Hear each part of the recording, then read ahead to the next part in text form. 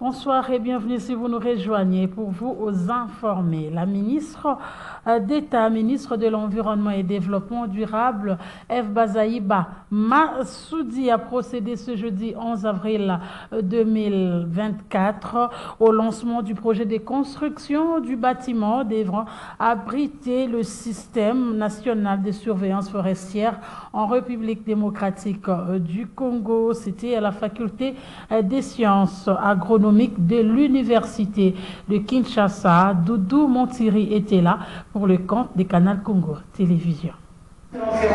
Dans le cadre de l'amélioration de la gouvernance forestière en République démocratique du Congo, conformément aux engagements pris par le gouvernement lors de la 15e conférence des partis à la Convention cadre des Nations Unies sur les changements climatiques COP15 à Bali et à la vision du chef de l'État qui se matérialise la construction du bâtiment devant abriter le système national de surveillance forestière en RDC dont la cérémonie du lancement du projet a eu lieu ce jeudi 10 avril. Pour Eve Bazaïba, ministre d'État et ministre de l'Environnement et Développement durable, le lancement de ces projets tombe à point nommé, d'autant plus que la RDC est un pays solution grâce à ses multiples ressources naturelles, notamment les forêts, dont les données stratégiques doivent être maîtrisées.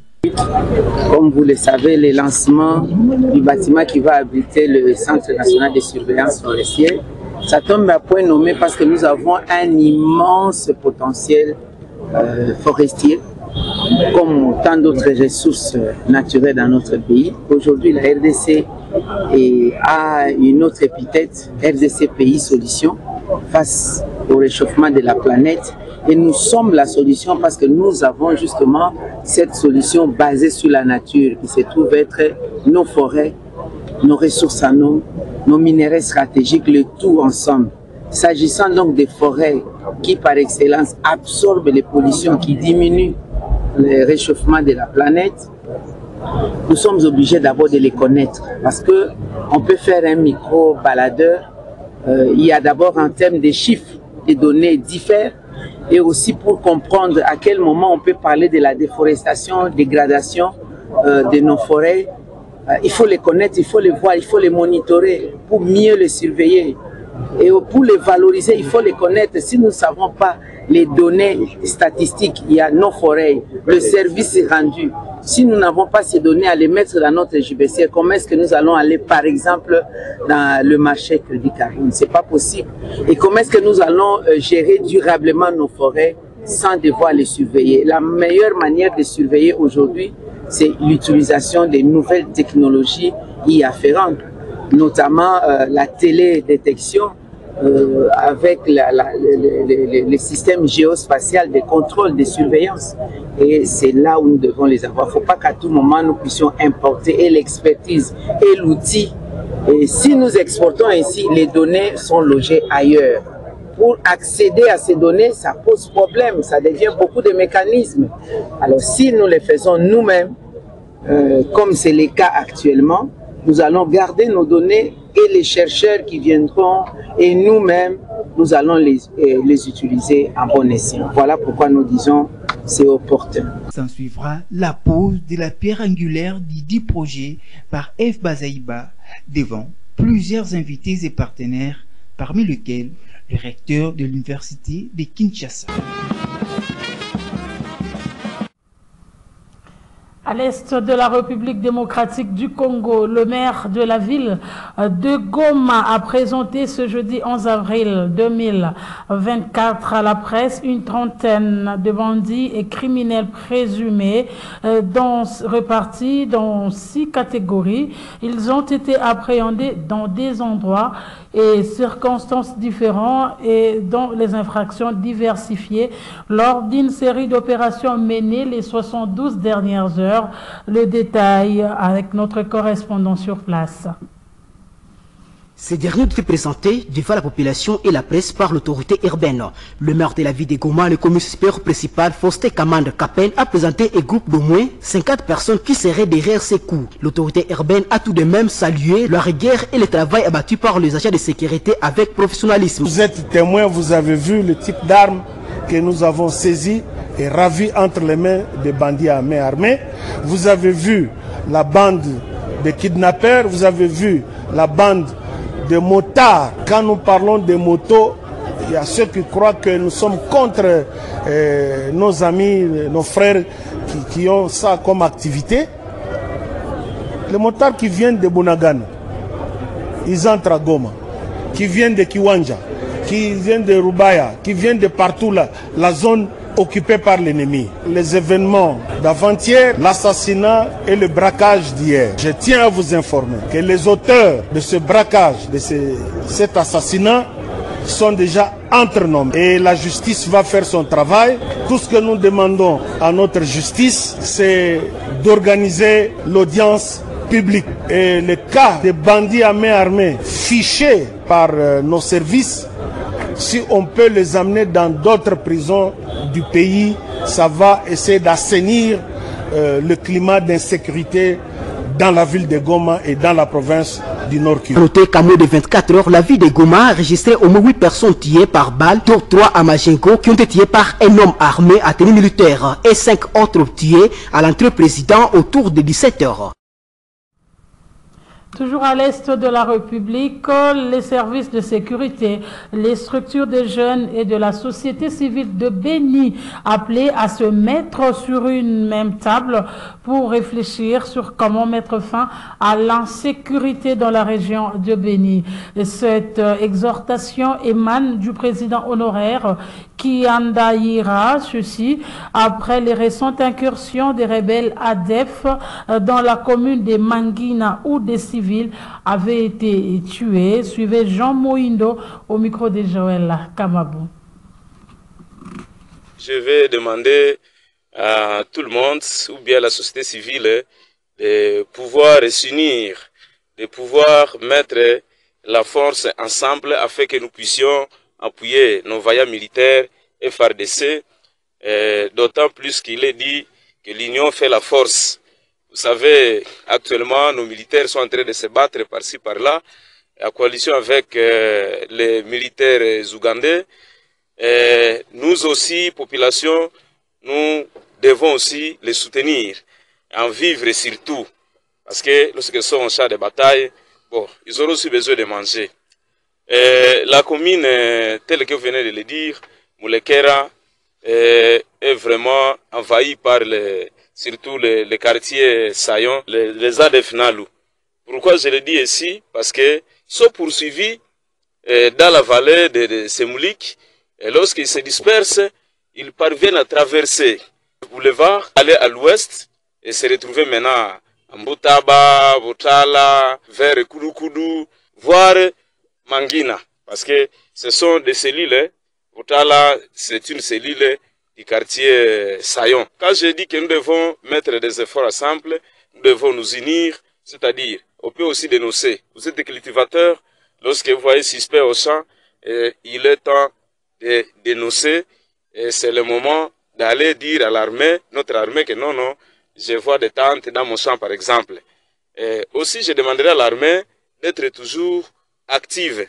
Le plus souvent, euh, il y a des informateurs qui les arrivent, mais il semble apparemment, notre armée semble aller là où il y a des suspects avec un, un grand retard. C'est pourquoi la population actuellement se lamente. Hein? Pourquoi nous dénonçons, mais l'intervention arrive un peu en retard. Travailler main dans la main, c'est-à-dire euh, les mariages là civilo-militaires. Hein? La population doit collaborer avec l'armée et aussi nos militaires doivent aussi collaborer avec la population. C'est la question seulement de dénoncer et d'aller au moment opportun, au lieu où on a dit que non, il y a des suspects. C'est pourquoi j'ai demandé à notre armée d'être active. Quand il y a information d'une telle part, ça ne va pas. Alors, il faut, il faut y aller en temps. Euh, avec ça, euh, espérons que ensemble, la sécurité va prendre fin dans notre ville de Béni. Et puis, la Monisco dément toute rumeur qui circule sur la toile selon laquelle elle aurait cédé ses positions au M23 dans les alentours de la cité de Saké.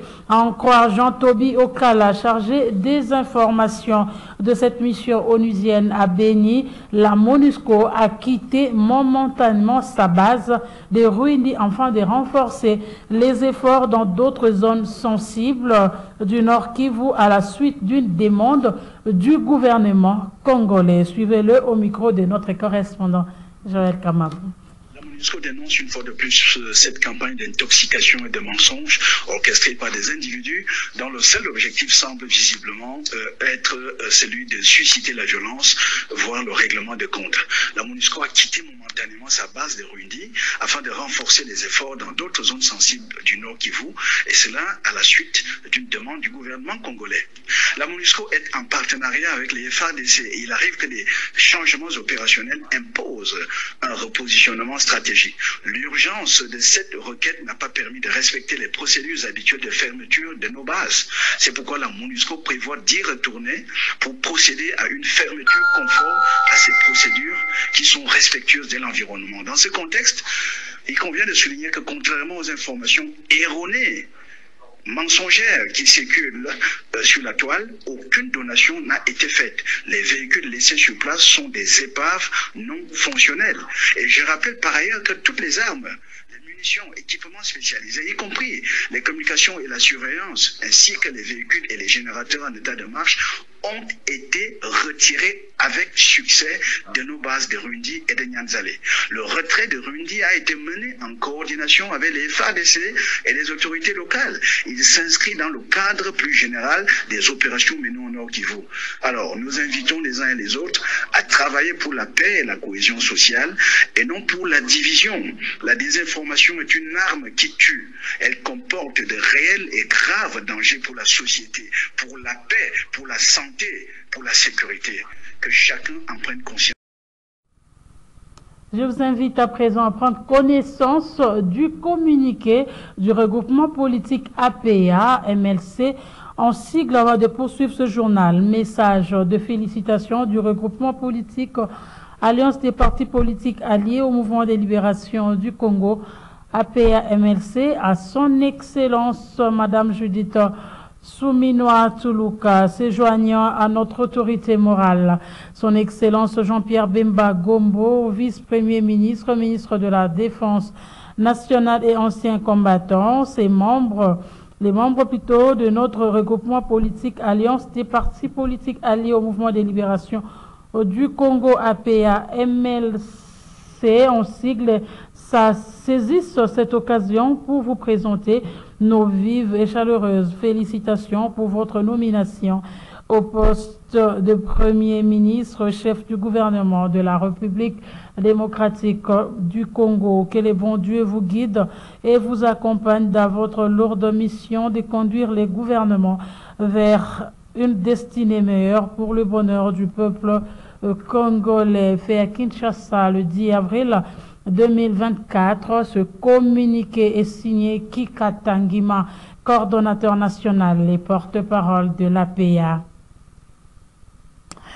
Et dans le reste de l'actualité, ouverture ce jeudi 11 avril 2024 à Kinshasa de la réunion régionale d'urgence de haut niveau sur le pont, les monkeypox, autrement appelé variole euh, de singe. Cette réunion régionale organisée par le, le ministère de la Santé avec l'appui de l'UNICEF et de l'OMS, vise à sensibiliser les Congolais sur l'apparition de cette maladie qui touche 12 pays africains, y compris la République démocratique euh, du Congo, dans les provinces d'Ikwango, Chopo et Kinshasa.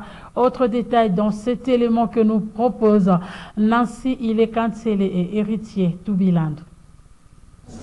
Les représentants des 11 pays africains touchés par l'épidémie des monkeypox ou variole de singe prennent part à Kinshasa à la réunion régionale d'urgence de haut niveau sur cette maladie qui décime la vie des milliers d'Africains. Ouverte ce jour à Kinshasa. Cette activité est appuyée par l'UNICEF, l'OMS et CDC Africa. À cet effet, les politiques et les scientifiques ont trouvé un cadre de réflexion afin de formuler des conclusions et recommandations importantes pour bouter cette maladie du continent africain. Dr Boureima Amasambo, représentant de l'OMS en RDC, qui a pris la parole au nom des partenaires, a fait savoir que le monkeypox constitue une urgence de santé publique vu son ampleur. L'année dernière, la, variole simienne a fait beaucoup trop de morts dans nos communautés. Sur plus de 14 000 cas de variole simienne rapportés, il y a eu plus de 654 décès. Depuis le début de cette année 2024, plus de 4500 cas et près de 300 décès ont été signalés à l'OMS. Ces tristes statistiques laissent derrière elles une traînée de chagrin et de désespoir dans les familles et communautés affectées. Dans son mot de circonstance, Dr Roger Kamba, ministre de la Santé publique, Hygiène et Prévention, a reconnu que le monkeypox est en train de prendre de l'ampleur, ce qui constitue une menace régionale et un problème mondial qui doit impliquer la mobilisation de tous les partenaires. Ce problème régional devient in fine un problème mondial. La mobilisation que l'on voit aujourd'hui me rend fier en tant que ministre de la Santé pour dire nous avons un accompagnement international qui nous permettra effectivement de prendre les meilleures décisions. Au début, avec l'OMS, on avait juste prévu une réunion des experts la semaine prochaine. Mais mon ami Dr Kasseya m'a dit non, il faut que tous les internationaux viennent aussi. Et donc nous avons combiné ces deux réunions, la réunion stratégique et la réunion des experts. C'est le samedi 13 avril 2024 que les ministres de la Santé des différents pays concernés par cette maladie, dont le Burundi et l'Ouganda, vont avoir une plénière durant laquelle les résolutions et autres recommandations seront mises à leur disposition afin d'attaquer cette pathologie dont l'évolution devient inquiétante. Comme vous le savez, la République démocratique du Congo a contracté de 2019 à 2023 une dette extérieure dépassant 10 milliards de dollars américains, une situation inquiétante selon Maître Claude Ngoma, cadre de Nouvel Élan. Celui-ci estime que l'argent emprunté n'est pas orienté pour des investissements porteurs de croissance inclusive à cause, dit-il, de la mégestion du régime. Maître Claude Ngoma l'a dit au micro de Maxime Macabou.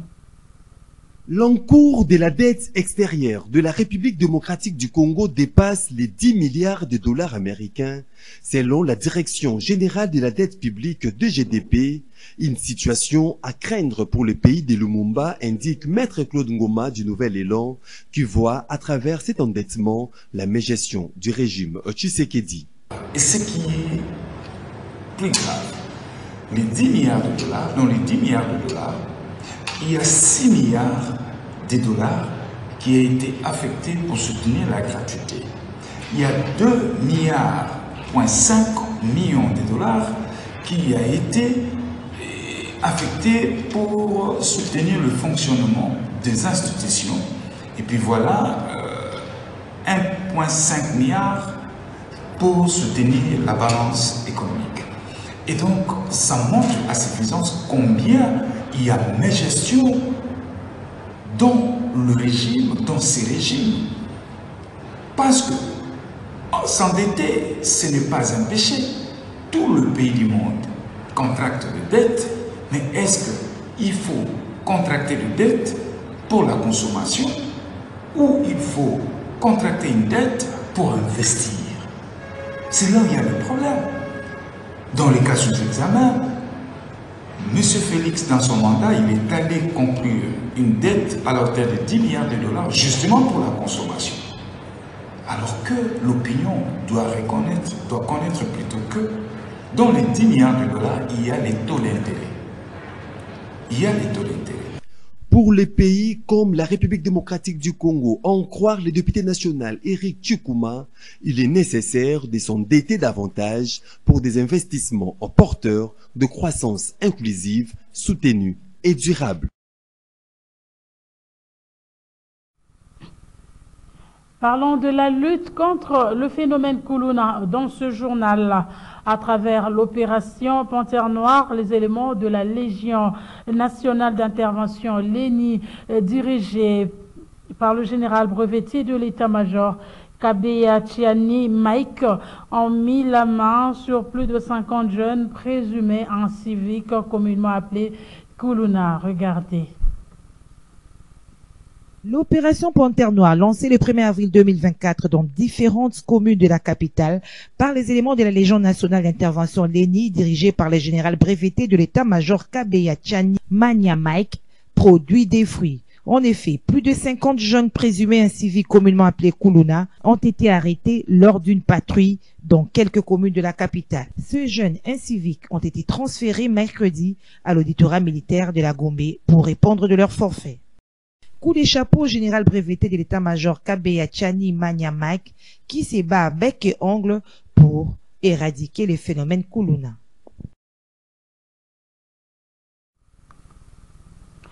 Les femmes vivant avec handicap de Kinshasa et quelques provinces sont dans la capitale pour participer à la septième table ronde provinciale sur le leadership féminin et la participation des femmes vivant avec handicap au processus politique démocratique de paix et de sécurité ouvert ce jeudi 11 avril 2024. Gisèle Etoko Ekouchou pour plus de détails.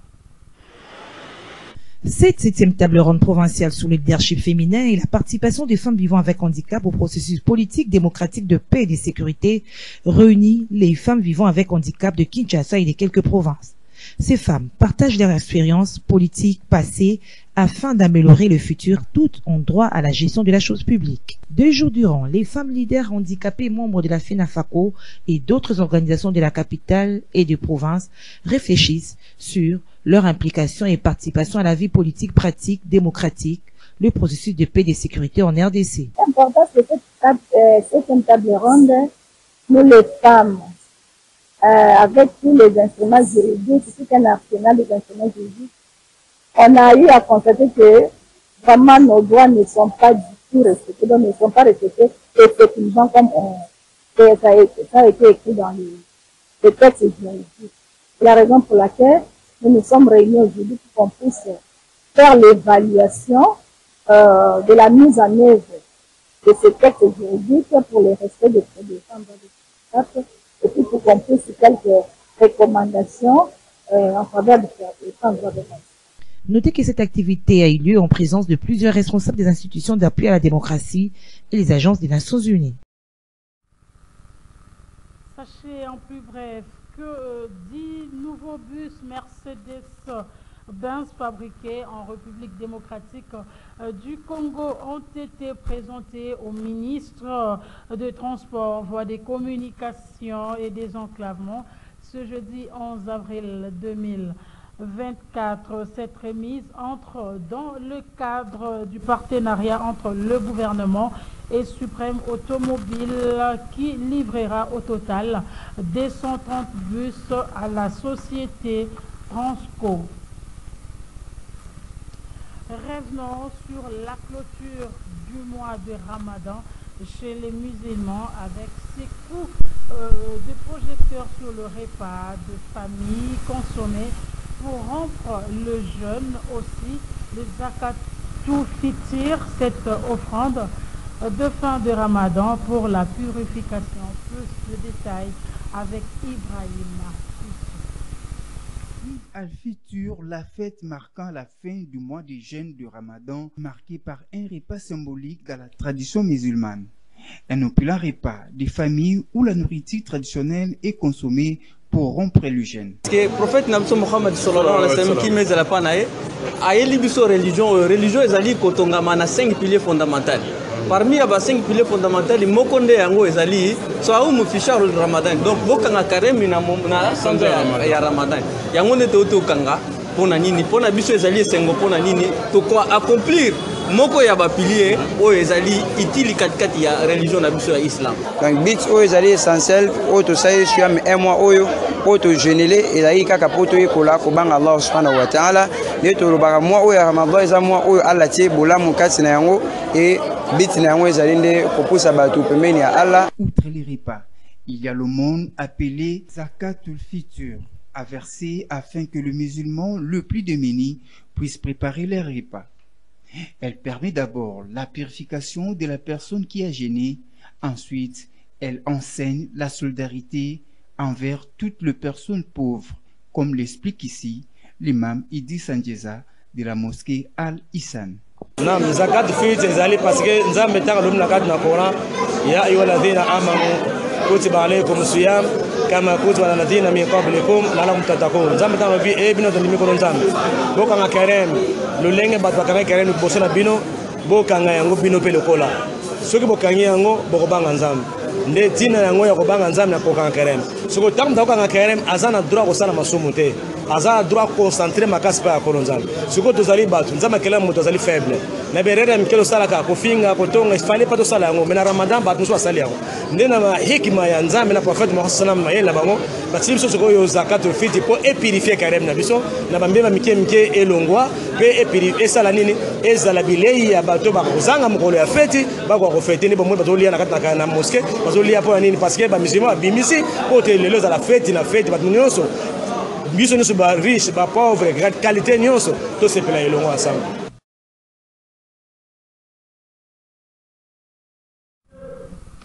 Ce journal est terminé, mesdames et messieurs. Merci de votre attention accordée. Quant à moi, je vous retrouve très prochainement. Au revoir.